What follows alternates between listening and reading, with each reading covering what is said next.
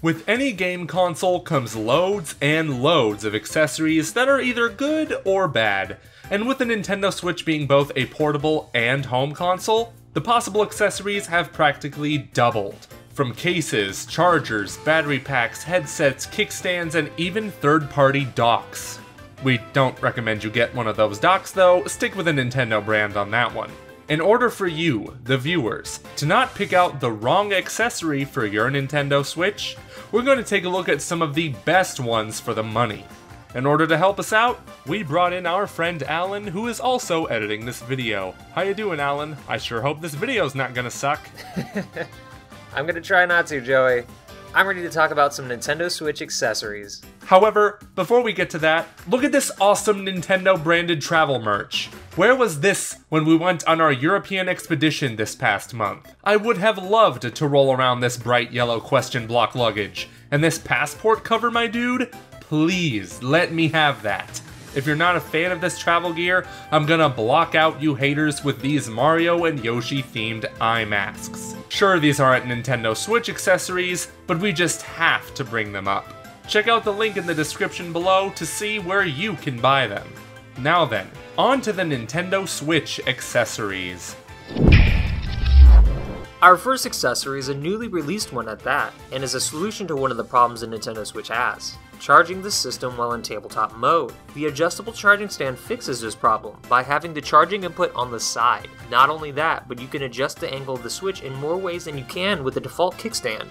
I've personally never liked the kickstand on the Switch, so this charging stand actually fixes two problems instead of one, and only for 20 US dollars. This is definitely a must if you play a lot in tabletop mode. But if you don't want to deal with the Joy-Con grip like I am and want a new controller without the steep price tag of the Pro controller, our friend JJ Lugo from the Coalition recommends the wired Nyko Core controller. Nyko tends to be a hit or miss with their accessories, especially with a certain portable dock, but the $20 Core controller is good when it comes to third-party standards.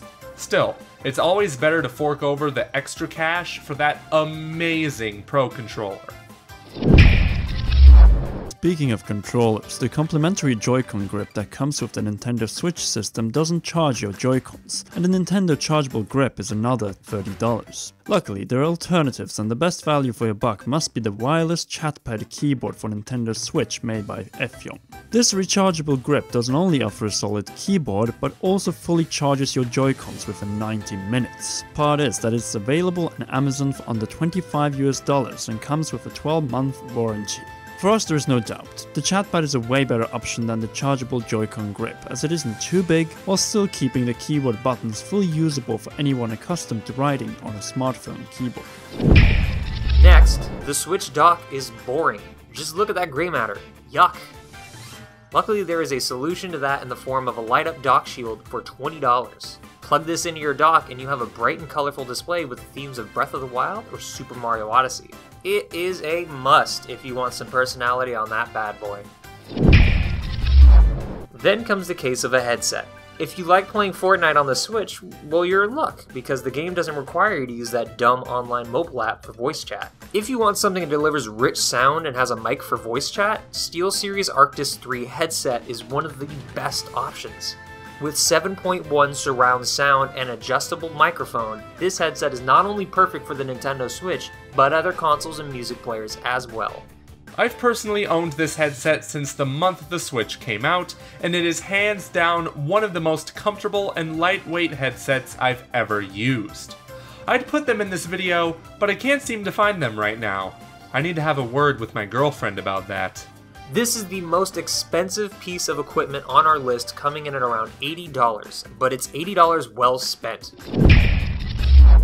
If you want something more Nintendo themed though, then this Breath of the Wild themed Astro A10 headset is coming out on October 5th for $70. I think I need to hit that pre-order button now. And if you're still enjoying Nintendo Labo, there is another accessory that might just be up your alley. This cardboard arcade kit from Nyko really gives you that arcade feel, and it also comes with custom joysticks to attach to your Joy-Cons. Hey, joysticks, Joy-Cons, it all makes sense now.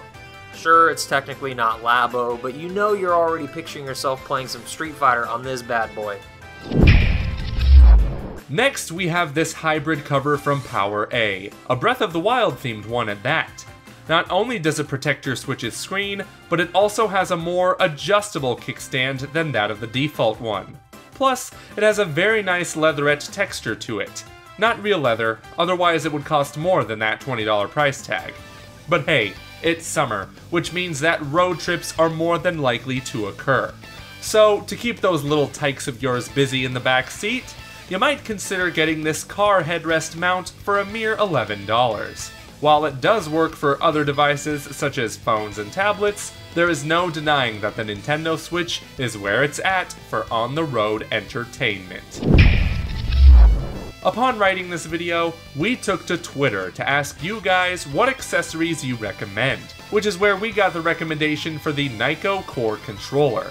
And JJ also recommended the Nyko swivel grips for the Joy-Cons. They're neat little things that help you grip those tiny little Joy-Cons for only $10. And since they fold, they double as comfort grips while using them in single player settings. Granted, I don't know how comfortable they can be since I don't own them, but if you do, let us know what they're like. But by far, the coolest accessory was sent by Doom2332, being the GripCase by Skull and Company. Holy hell does that thing look amazing! The case has slots to hold 10 cartridges, a mesh pocket to hold chargers and wrist straps, and a kickstand that displays the Switch at three different angles. But the best part is the shell you put your Switch in. It enlarges the shoulder buttons, gives you incredibly comfortable grips, and it still fits in the dock despite all that. This package comes in at around $50, which is understandable given just how much you're getting.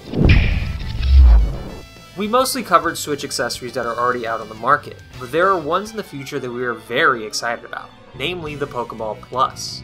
We tried this out at E3 and it doubles as both a Joy-Con with only the control stick and two buttons, and a device to help you detect wild Pokemon in Pokemon Go.